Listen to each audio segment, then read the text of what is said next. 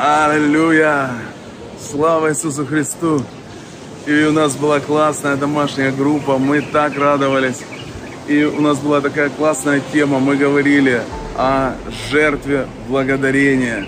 И сегодня жертва благодарения – это что-то важное, что-то дорогое, что должно изменить жизнь множества людей сегодня. И я верю, что так и будет, что Господь, Он изменит жизни людей, Он изменит жизни многих людей. Сегодня время благодати Божьей. Аллилуйя.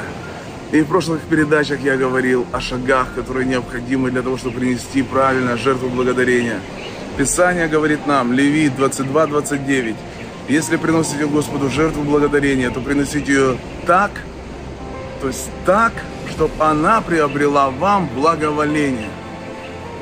И вот слово «так» открылось мне. Это чтобы подставить себя, чтобы поставить себя в тупик, чтобы где-то лишить себя чего-то.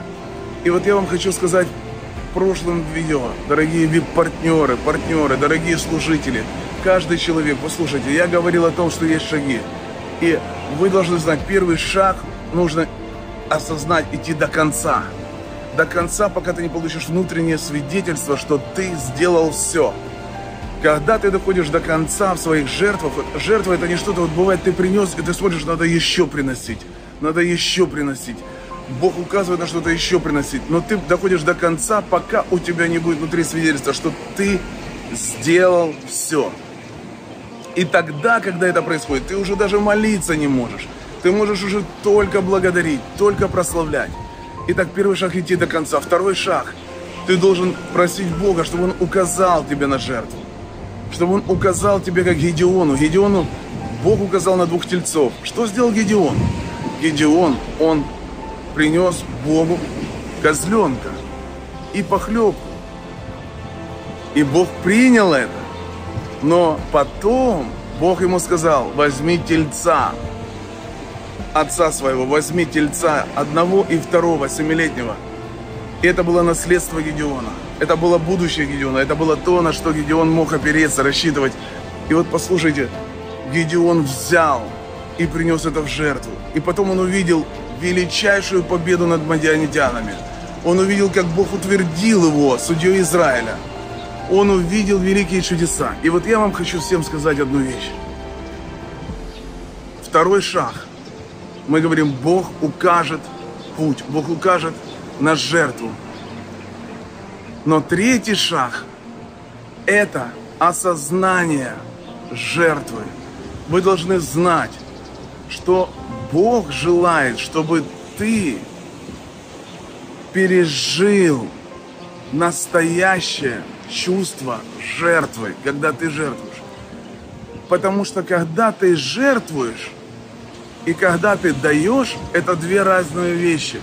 Очень часто в жизни я путал даяние с жертвой.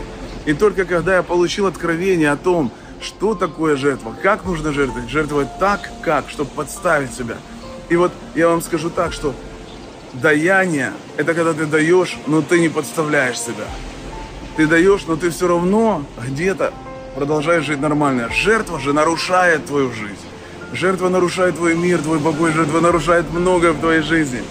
Поэтому Иисус сидел в сокровищнице, и Он смотрел. Люди все собрались и смотрели над тем, как Иисус сидит у сокровищницы и наблюдает, как другие жертвуют. Вы знаете, многие люди могли осуждать Иисуса и говорить, посмотрите, он думает о деньгах и так далее. И написано, многие богатые клали много. Одна бедная вдова подошла и положила две лепты. И Иисус, который молчал все время до этого, просто смотрел. Вдруг начал говорить, и все внимательно слушали. И он сказал, вот эта бедная вдова положила больше всех их. И причиной было то, что вдова положила все пропитание свое. Другими словами, вдова подставила себя. Она лишила себя всякой опоры на завтра. Она лишила себя всякой безопасности на завтра. Всякого мира, покоя. У нее не было никаких гарантий завтрашнего дня. Только голод ее ждал. А на самом деле она просто в себя верила в руки Божьи по-настоящему. И если бы не Бог, она бы осталась голодной. И она решила, что да, я вверяю себя в руки Бога. Те клали много, однако они не вверяли себя Богу, потому что у них было еще. И вопрос не в том, друзья, сколько человек дает, вопрос в том, сколько оставляет. Вопрос в том, даже не сколько оставляет, потому что бывает, человек достал последние две гривны, дал и говорит, у меня больше нет денег, я великий, жертвенный человек. Нет. На самом деле это прообраз того, что человек, он лишил себя чего-то, что могло защитить его в будущем. Как Гедеон, который лишил себя того, что было его наследством. И вот когда ты понимаешь, что такое жертва, жертва – это то, что реально заставит тебя страдать, реально заставит тебя где-то лишиться покоя и мира. Это то, где ты понимаешь, что если Бог не придет, то тебе крышка, то тебе все, конец, то тебе вообще будет плохо. Ты вообще просто подставил себя ты глупец, если Бог не придет, все, ты окажешься в самом худшем положении. И вот здесь, друзья, мы должны приносить те жертвы.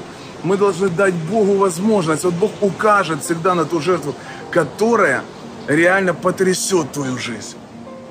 И Он говорит, я приду и потрясу небо и потрясу землю. И вот вы знаете, сначала, прежде чем Бог придет и потрясет небо и землю, Он придет и потрясет твою жизнь, Он придет и потрясет тебя.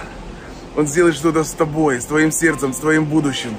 И вот когда ты жертвуешь третий шаг, ты должен войти в тот, в, то, в тот момент, ты должен войти в то состояние, где ты будешь уже все свое будущее ставить в зависимость только от Бога. И уже никто, ничто тебе не поможет. Нигде не будет у тебя какой-то подпорки, какого-то костыля, на который бы ты мог опереться. Потому что ты лишишь себя всяких костылей, ты лишишь себя всяких подпорок, всяких возможностей через свою жертву. Вот это состояние, когда ты входишь и ты говоришь, Боже, я сделал все так, что теперь, если ты не придешь, если твое благоволение на меня не придет, я хочу его больше всего. Итак, третий шаг – возжелать Бога больше, чем комфорта, возжелать Бога больше, чем чувство защищенности, возжелать Бога больше, чем чувство какой-то завтрашней гарантии, возжелать Бога больше, чем чувство завтрашнего обеспечения, возжелать Бога больше, чем чувство нормального состояния христианина – выйти из зоны комфорта в зону полного, можно сказать, фиаско. Там, где ты или полностью будешь пораженным, или, если приходит Бог, то ты полностью победитель. И вот там ты испытываешь Бога. Когда мы так делаем, вы знаете, что я испытывал в своей жизни? Когда я так делал? Я так делал много раз, друзья. Я так делал много раз и всю жизнь делаю. Всю жизнь я так делаю. Каждый раз я не знаю. Потому что Бог это Бог. Он хочет, придет, хочет, не придет. Он хочет сделать, хочет не сделать. Ты не заставишь его делать, ты не предскажешь, что он будет делать. Но ты хочешь увидеть его отношение к тебе. Но каждый раз я видел его отношение ко мне. И я видел, что он всегда приходил и делал больше намного, чем я ожидал. Поэтому ты должен знать, если ты на всякий случай хоть что-то где-то оставляешь, хоть какие-то вещи, на случай, если Бог не придет, то Он не придет. Но если ты убрал все, что может только тебя поддержать, и тебя поддержать может только Бог, или же ты себя подставляешь, то я хочу тебе сказать, вот это и есть та жертва, которую Бог ждет.